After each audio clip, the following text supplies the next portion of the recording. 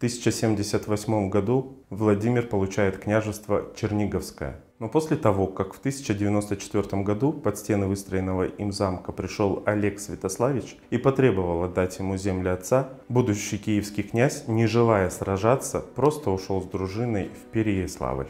Позднее, будучи князем Смоленска, Владимир Мономах активно помогал соседним князьям в борьбе с врагами. В 1097 и 1100 годах выступал одним из инициаторов съездов удельных князей. После смерти Всеволода Ярославича Владимир Мономах не стал претендовать на Великий Киевский престол и передал его Святополку II Изиславичу, несмотря на завещание отца. По мере сил он оказывал новому великому князю помощь в военных походах. Правление Владимира Мономаха в качестве киевского князя началось только в 1113 году.